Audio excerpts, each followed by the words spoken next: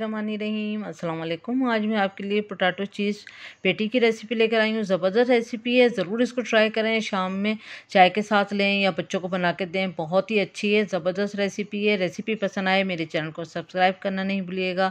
बराबर में दिए गई बेल को क्लिक कीजिए ताकि हर नई रेसिपी आपके पास सबसे पहले आ जाएगी।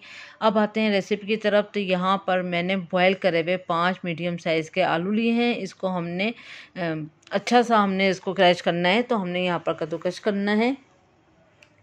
उससे क्या होता है कि ज़रा सा भी लम्स नहीं रहता और बहुत स्मूथ सा हमें आलू का पेस्ट मिल जाता है इस तरह।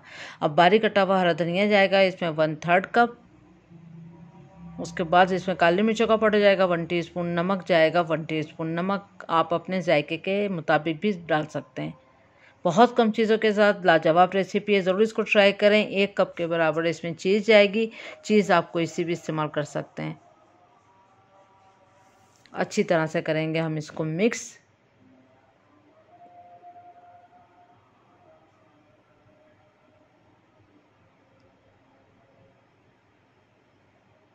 बहुत अच्छी तरह मिक्स करने के बाद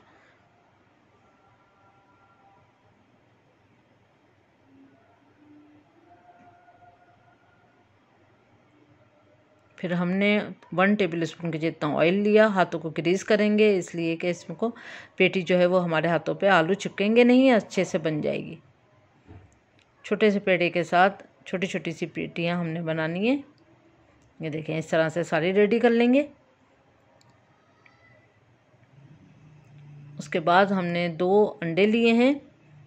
अगर आपके छोटे अंडे हैं और अगर बड़े अंडे तो आपने इसमें मैदा अपने अंडों के हिसाब से डालना है। बाद आगे जाके मैं आपको बताती हूँ। यहाँ पर मैंने फ़ोर टेबल स्पून मैदा लिया है। दो अदद मैंने इसमें अंडे यूज़ करे हैं और फोर टेबल स्पून यहाँ मैंने मैदा डाला है। उसके अंदर फिर मैंने फोर टेबल स्पून ही दही डाला है और ये हंग कर्ड है। आपने इसका पानी जो है वो मलमल के कपड़े से या छन्नी में रख के आधा घंटा इसका पानी आपने डाल, हटा देना है। और दो पिंच के करीब हमने इसमें नमक ऐड करना है। काली मिर्चों का पाउडर टू पिंच हमने इसमें ऐड करना है। अब करना है हमने इसको अच्छी तरह से मिक्स अब ये देखिए मेरे बड़े साइज़, साइज़ के जो थे, वो अंडे थे। तो ये बहुत पतला सा आमेज़ा में नहीं चाहिए थोड़ा सा गाढ़ा चाहिए। तो यहाँ पर हमने एक टेबल स्पून फुल भर के मैदा और ऐड करा। अब ये देखें, ये थोड़ा सा अच्छा हो गया तो इस, ये अच्छा सा थोड़ा गाढ़ा होना चाहिए ताकि इस पर कोट अच्छे से लग जाए। तो अगर आपके अंडे बड़े साइज़ के हैं तो आप इसमें मैदा और भी ऐड कर सकते हैं। फोर टेबल स्पून के अलावा भी आप मैदा डाल सकते हैं।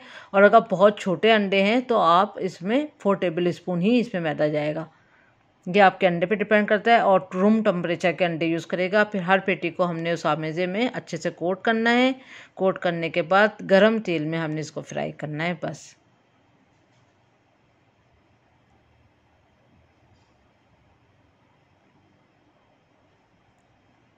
दो ही तीन मिनट के बाद हमने इसको देना है, पलट देना है। देखें अच्छा गोल्डन कलर आज आ गया है और दूसरे साइड पे भी अच्छा कलर आ जाए, फिर हम इसको निकालेंगे। इसमें सब कुछ कुक हुआ हुआ है, सिर्फ़ ऊपर की जो हमने कोट करा है, उसको कुक करना है। तो लिहाजा हमने यहाँ गरम तेल में इसको डालना है।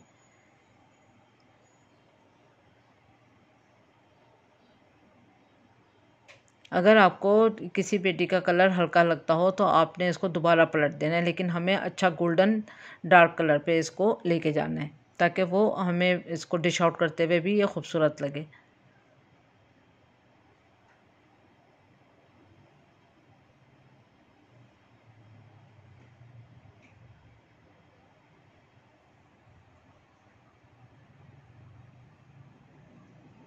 ये देखिए, हमने दोबारा एक बार फिर इसको पलटा था, अब इसको हम निकाल लेते हैं।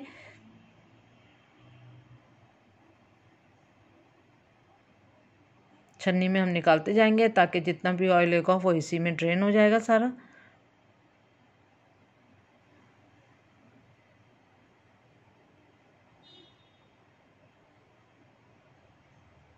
और आपके पास, आप इसको चाहें तो इसको केचप के साथ खाएँ या कोई सी भी इमली की मैंने इतनी चटनी आपको बनाई है, आप उसके साथ भी इसको ले सकते हैं और आप दही के रायते के साथ भी इसको ले सकते हैं। तो ज़रूर ट्राई करें इस रेसिपी को, बहुत मज़ेदार है, बहुत हल्के मसालों के साथ है, बच्चों को मज़ा दोबाला हो जाएगा और ज़रा सी ज़्यादा चटपटी खानी है तो किसी भी चटनी सॉस के साथ आप इसको इस्तेमाल कर सकते हैं। उम्मीद करती हूँ आज की रेसिपी आपको पसंद आई होगी। थैंक यू फॉर वॉचिंग अपना ख्याल रखें दुआ में याद रखें। अल्लाह हाफिज़।